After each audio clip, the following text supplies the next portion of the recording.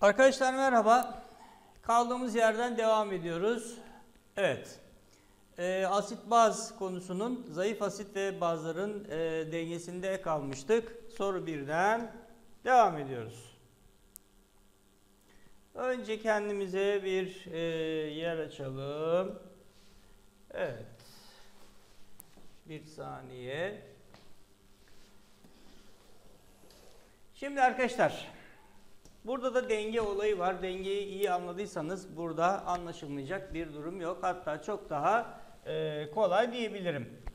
Şimdi önce asitik asiti iyonlarına ayrıştıralım.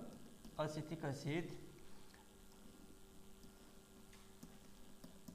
asetat ve arkadaşlar hidrojen iyonu şeklinde iyonlarını ayrıştırdık. Şimdi arkadaşlar bu bir denge olduğuna göre ne yapıyorduk? Başlangıç, değişim, çizgi çekiyoruz. Değil mi? Denge ve derişim diyoruz. Derişim zaten moller olarak verildiği için e, derişim yazmaya gerek yok. Başlangıçta bunun derişimi 0,02 molar. Bunlardan var mı? Yok. Değişimi bilmiyoruz. Değişimi bilmediğimiz için buna eksi x diyoruz. Bunlara da katsayılarına bakaraktan artı x diyoruz. Şimdi denge durumunda kimden ne kadar var? 0,02 molar eksi x x x kadar bundan var. Şimdi arkadaşlar değişim o kadar küçük ki yani şu sayı o kadar küçük ki atıyorum binde bir, on binde bir, yüz binde bir. Yani çok küçük bir sayı. O yüzden bu sayıyı her defasında ihmal ediyoruz. İhmal edilir. Tamam mı? Yani iyonlarına ayrışan şu kısım yok artık. Peki buradan şimdi devam edelim. Bize Ka'yı vermiş arkadaşlar. K eşittir CH3 COO saniye. Derişimi hidrojen iyonları derişimi. Şurası aqua arkadaşlar. Evet CH3 COO H. Evet. Yazdık. Dengemizi yazdık arkadaşlar Şimdi ne yapıyoruz? Ürünler böyle girenler. 1,8 çarpı 10 üzeri eksi 5 eşittir x kare bölü 0,02. 0,02 ile şunu çarparsak 3,6 çarpı 10 üzeri eksi 7 eşittir x kare yapar. 36 çarpı 10 üzeri eksi 8 yazarsak buna buradan x'i 6 çarpı 10 üzeri eksi 4 olarak buluruz. Şimdi biz ne yaptık arkadaşlar? Ee, K'yı e, pardon X'i bulduk. X'i bulduk. Değil mi? X dediğimiz neydi arkadaşlar? Şu. Hidrojen iyonları derişimi. Şu arkadaşlar. Cevabımız bu. Bir de neyi soruyor bize? OH iyonları derişimini soruyor. OH iyonları derişimi nasıl buluyoruz? K su eşittir hidrojen iyonları OH iyonları derişimi. Bu 10 üzeri eksi 14. Bu da 6 çarpı 10 üzeri eksi e, kaç bulmuşuk? 4. Buna da x deyince arkadaşlar buradan x'i 1 bölü 6 çarpı 10 üzeri eksi 10 olarak buluyoruz. Yani OH derişimimiz 1 bölü 6 çarpı 10 üzeri eksi 10. Peki. Geçelim şimdi ikinci sorumuza. Soru 2. Şimdi arkadaşlar HX asidi diyor. Hemen yazalım. İyonlarına bu aqua. Bunların hepsi sulu çözel. Tamam mı arkadaşlar? Hani yazmayı unutursak katı mı sıvı mı diye düşünmeyin. Hepsi su içinde. Suda yani. Şimdi şunun başlangıç derişimi 0,01 molar. Başlangıç değişim. Her defasında bunu yazıyoruz. değişim Şu da denge arkadaşlar. Evet. Şimdi bize bakın görüyor musunuz? pH'i vermiş. Bu ne demek? Hidrojen iyonları derişimi 10 üzeri eksi 5 demek. Yani biz değişimi biliyoruz. 10 üzeri eksi 5. 10 üzeri eksi 5. 10 üzeri eksi 5. Şimdi demin neden bunu ihmal ettiğimi anladınız mı? 10 üzeri eksi 5 çok minik küçük bir sayı. E, 0,01 10 üzeri eksi 2 demek. E, 10 üzeri eksi 5 10 üzeri eksi 2'nin binde biri kadar. Binde biri. O yüzden bunu ne yaptım? İhmal ettim. Binde birini alacak durumda değiliz. Çok küçük bir değer. Peki. Değerleri yerlerine yazdık arkadaşlar. Tamam bize neyi soruyor?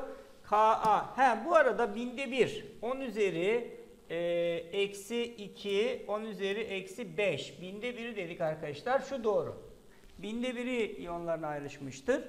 E, binde biri iyonlarına ayrıştığı için zayıf bir asittir. %100 iyonlarına ayrışırsa kuvvetli asit diyoruz. Şimdi sıra nereye geldi? K'yı bulmaya. K eşittir 10 üzeri eksi 5, 10 üzeri eksi 5 bölü 10 üzeri eksi 2. Buradan arkadaşlar 10 üzeri eksi 8'i buluyoruz. Demek ki bunların hepsi neymiş arkadaşlar? Doğru. Peki geçelim diğer sorumuza. Evet 3 numaralı soru. Ne diyor arkadaşlar? HA zayıf asittir. Şimdi geçen dersimizden hatırlayalım. Zayıf bir asit çözeltisine ne yapıyoruz arkadaşlar? Su ilave ediyoruz. Bir kere su ilave ediyorsak derişimler azalır. Yani ortamda ne varsa hepsinin derişimi azalır.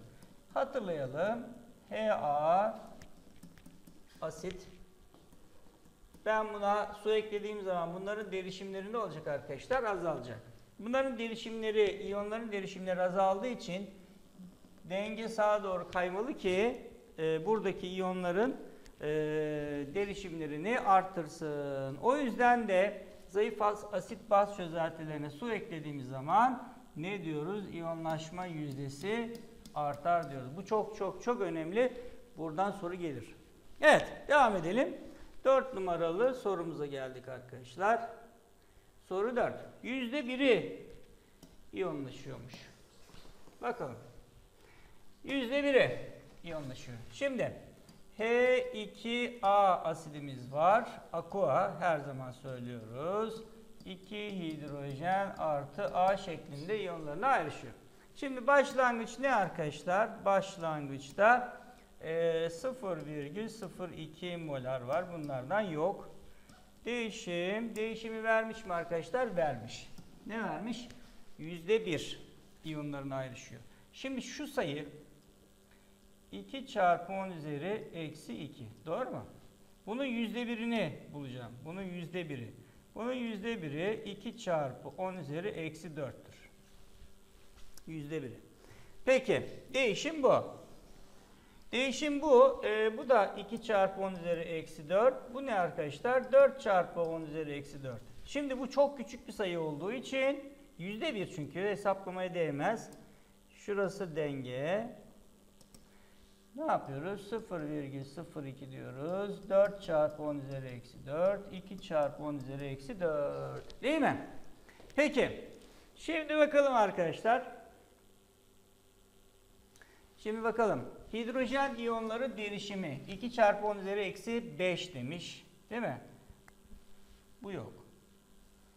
2 çarpı 10 üzeri eksi 5. Bu yok arkadaşlar. Yanlış. Ortama su ilave edilirse iyonlaşma yüzdesi değişmez demiş. İyonlaşma yüzdesi artar. Bir de 2 numaraya bakalım arkadaşlar. K asit eşittir. Hidrojen iyonları derişimi A iyonları derişimi bölü H2A. Yazalım. 4 çarpı 10 üzeri eksi 4'ün karesi 2 çarpı 10 üzeri eksi 4 bölü arkadaşlar 2 çarpı 10 üzeri eksi 2. Tamam mı? Peki şimdi yukarısı ne oldu arkadaşlar? 32 oldu. Şunun karesi 4'ün karesini aldık 16. 2 ile çarptık 32. 32 çarpı 10 üzeri eksi 12 oldu. 2 çarpı 10 üzeri eksi 2. 16 çarpı 10 üzeri eksi 10 oldu. 16 çarpı 10 üzeri eksi 10 demek 1,6 çarpı 10 üzeri eksi 9 demek arkadaşlar. Demek ki neymiş? Doğruymuş. Peki. Yalnız 2 doğru. Evet geçiyoruz. Geçiyoruz arkadaşlar. Hangi soruya? Soru 5. Şimdi bunu şuraya yukarıya çözelim. Evet. Yukarıya çözelim. N2H4 N2H4 Bu azotlarınkini mutlaka suyu yazarak denklemini yazalım. Konjüge asit baz çifti oluşturuyoruz her defasında. N2H5 artı OH. Yazdık. Evet, bir değerli bir baz dediği bir tane OH ortamı veriyor. 0,0,01 molar. Bu zaten sıvı. Bu aqua. Değil mi? Bunlardan başlangıçta yok. Peki bize neyi soruyor arkadaşlar? Şunları soruyor. Tek tek bunları bul diyor. KB'yi de bize vermiş. Başlangıç, değişim, aşağıya ne diyoruz? Denge. Bundan x kadar azalırken bunlardan x kadar oluşacak. Bu küçük bir değer. O yüzden ihmal ettik. 0,01 x x dedik. Ben k'yı biliyorum. 10 üzeri eksi 6 eşittir x kare bölü 10 üzeri eksi 2. Şu sayı 10 üzeri eksi 2. Buradan arkadaşlar 10 üzeri eksi 8 yapar. x eşittir 10 üzeri eksi 4. Değil mi? Molar. x eşittir 10 üzeri eksi 4. Evet. Yani şu 10 üzeri eksi 4. O zaman bu ne arkadaşlar? 10 üzeri eksi 10. pH ne? 10. pOH ne? 4 arkadaşlar. Böylece hepsini bulmuş olduk. Peki diğer sorumuza geçelim. Ee, soru 6 arkadaşlar. Soru 6.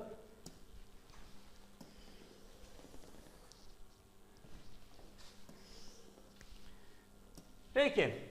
Yine iyonlarını ayrıştıralım. Azotlu olanları mutlaka suyu yazıyoruz. Sıvı. Konjüge asit baz çifti oluşturuyoruz denklemi anlayabilmek için. Evet, denkleş e, iyonlarını ayrıştırdık arkadaşlar. Tamam mı? Başlangıçtaki molünü soruyor. Yani biz başlangıçtaki derişimi bilmiyoruz. Bu başlangıç. Bunlar yok. Değişim altına ne diyoruz? Denge diyoruz. Şimdi arkadaşlar bize OH'ı vermiş. 10 üzeri eksi 2, 10 üzeri eksi 2, eksi 10 üzeri eksi 2. Şimdi arkadaşlar her zaman söylüyorum şu çok küçük bir değer. Binde bir, on binde bir gibi bir sayı bu. O yüzden ne yapıyoruz bunu? İhmal ediyoruz. X dedik. 10 üzeri eksi 2, 10 üzeri eksi 2 dedik. Buradan şimdi K'yı bulalım. K, B ürünler bölü girenler. 10 üzeri eksi 2. Bu arada KB'yi de yazalım. KB 2 çarpı 10 üzeri eksi 5. 10 üzeri eksi 2 bölü x. Buradan x eşittir 10 üzeri eksi 4 bölü 2 çarpı 10 üzeri eksi 5. Evet. Buradan ne çıkıyor arkadaşlar? 1 bölü 2 çarpı 10 üzeri 1 yani 5. 5 çıkıyor. Biz 5 bulduk. Yani başlangıç derişimi neymiş arkadaşlar? Başlangıç derişimi 5. Molarite eşittir m bölü v ise e, hacimde gördüğünüz gibi 200 mililitre yani 0,2 litre çarparsanız arkadaşlar cevabı 1 mol olarak buluruz. Evet cevabımız 1 mol. Diğer soruya geçiyoruz. Sözel bir soru. Ee, kuvvetli bir asit, zayıf bir asit arkadaşlar. Biri %100 iyonlarına ayrışıyor, birisi çok küçük bir kısım iyonlarına ayrışıyor. İyonlarına ayrışınca ortama verdikleri e, hidrojen iyonları aynı olmaz. Hidrojen iyonları aynı olmayınca pH'ları farklı olacak. Bu doğru. Bu doğru. Ee, biz asit baz tepkimelerinde ne kadar iyonlarına ayrışır, ne kadar iyonlarına ayrışmaz diye bakmıyoruz arkadaşlar. Ne yapıyoruz? Nötrleştirdikleri NaOH miktarları aynıdır diyor. Biz mol sayılarına bakıyoruz. Şimdi bunların derişimleri eşit, hacimleri de eşitse molarite eşittir m bölü v ya arkadaşlar. Şimdi molarite eşit, hacim eşit çarptığın zaman moller eşit oluyor. Yani şu eşittir OH. Eğer bu ikisi birbirine eşitse eee, o zaman 3 numara arkadaşlar doğru olmuş oluyor. Aynı miktarda bazla tepkimeye girerler. Evet. eee, 8 numaralı sorumuzdayız arkadaşlar. Soru 8.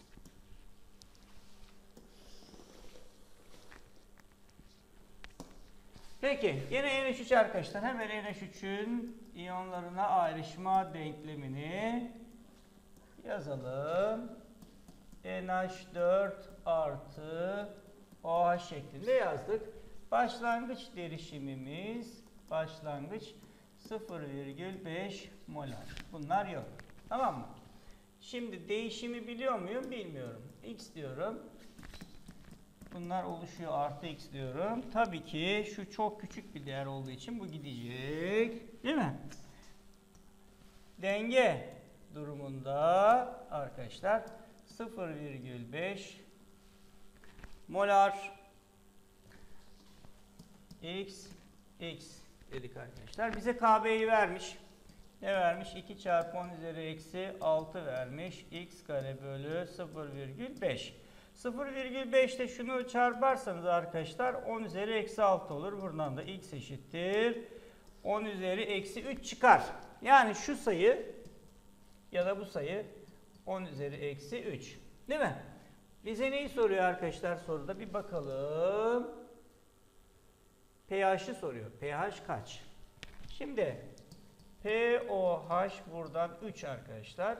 O zaman pH da kaçtır? 11 diyeceğiz. Evet. pOH'ımız 3, pH'ımız 11. Peki geçelim. İyonlaşma yüzdesi. Evet demin söyledik arkadaşlar. %100 iyonlarına ayrışıyorsa kuvvetli asit ya da bazdır. Eğer çok küçük bir kısmı iyonlarına ayrışıyorsa onlara da ne diyoruz arkadaşlar? Zayıf asit baz çözeltileri diyoruz. Şimdi soru 1'den başlayalım. Soru 1. Şimdi zayıf asidimiz ne yapıyoruz? Hemen iyonlarına ayrıştırıyoruz. M artı 2, 2 tane OH'ımız var. Peki neymiş arkadaşlar bu? 10 üzeri eksi 1. Yani şu 10 üzeri eksi 1. Bunlar başlangıçta yok. Başlangıç değişim. Çiziyoruz çizgimizi. Ne yapıyoruz arkadaşlar? Denge diyoruz. Şimdi dengede önce şu değişime bakalım. Ne demek bu? Şu ne demek arkadaşlar? Binde bir demek. Yani şu sayıyı şu sayıyı bine böleceksiniz. Bu sayıyı bine bölerseniz 10 üzeri eksi 4 olur. 10 üzeri eksi 4. 2 çarpı 10 üzeri eksi 4. Niye 2 çarpı 10 üzeri eksi 4? Kat sayısı 2 olduğu için. Şimdi binde 1 olduğu için ihmal ettik.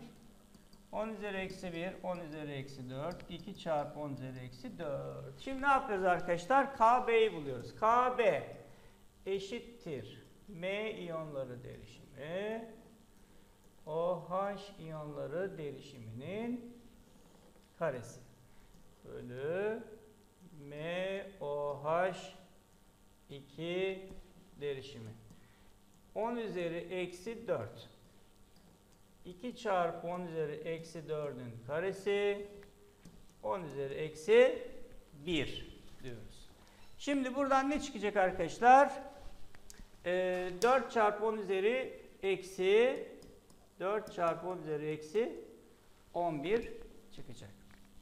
Evet. Diğer sorumuza geçelim. Örnek 2.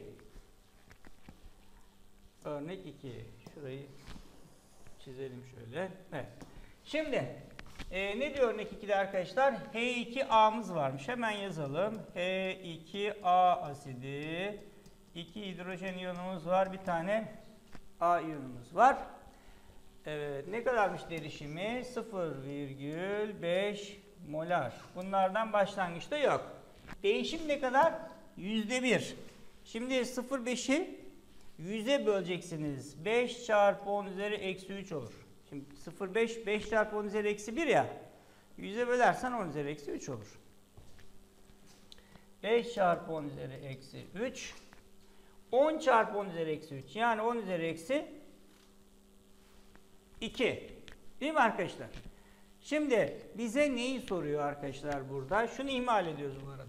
pH 2 diyor. Bakın arkadaşlar hidrojen iyonları derişimi gördüğünüz gibi tabi şöyle bir de yazalım da denge diyelim. 0,5 10 üzeri eksi 2 5 çarpı 10 üzeri eksi 3. pH 2 dediğine göre arkadaşlar bu pH 2'dir. Bu doğru pH 2 ise pOH 10 üzeri eksi 12'dir. Bir de şimdi KA'mıza bakalım. 10 üzeri eksi 2'nin karesi 5 çarpı 10 üzeri eksi 3 bölü 0,5. Buradan 5 çarpı 10 üzeri eksi 7 bölü 0,5. 0,5'i bölmek 2 ile çarpmak anlamına geliyor. 10 çarpı 10 üzeri eksi 7 ya da 10 üzeri eksi 6'dır. Yani 2 numara yanlış arkadaşlar. Pekala. Diğer sorumuza geçelim. Soru 3. HX asidimiz var. Hemen yazalım. HX. Hidrojen iyonları X iyonları arkadaşlar. Peki biz başlangıç derişimini gene biliyor muyuz? Bilmiyoruz. X diyoruz. Bunlar başlangıçta yok. Değişim. Denge. Evet pH 3 ise şurası 10 üzeri eksi 3. 10 üzeri eksi 3. 10 üzeri eksi 3. Tamam mı arkadaşlar? Şu çok küçük bir değer. Bunu ne yapıyoruz? İhmal ediyoruz. Dengede bundan x molar var. 10 üzeri eksi 3, 10 üzeri eksi 3 diyoruz. Şimdi buna göre ne diyor arkadaşlar? Ee, asinin mol sayısı nedir diye bize soruyor. Biz şimdi HA'yı biliyoruz. KA'yı pardon. 2 çarpı 10 üzeri eksi 5 eşittir 10 üzeri eksi 6 şunları çarptığımız zaman bölü x arkadaşlar x eşittir 10 üzeri eksi 6 bölü 2 çarpı 10 üzeri eksi 5. 1 bölü 2 çarpı 10 üzeri eksi 1. Yani 0,05 mol oluyor. Şimdi asidin neyini soruyor arkadaşlar bize? Mol kütlesini soruyor. 0,05 molü neymiş? 0,37 grammış. 1 molünü soruyor. 20 ile çarpıyoruz 0.37'yi. 20 ile çarparsan arkadaşlar 74'ü buluruz. 0.37'yi 20 ile çarparız. 0.37'yi buluruz. Evet şimdi bir diğer sorumuza ee, geçelim. Bir diğer sorumuz. Bir diğer sorumuza arkadaşlar şöyle bakıyorum. Burası farklı bir e, bölüm. Bunu bir sonraki e, derste anlatalım. Bölmeyelim soru e, bütünlüğünü. Bir sonraki e, asit baz dersimizde de bu bölümü anlatmış olalım. E, hepinize kolay gelsin. İyi günler diliyorum.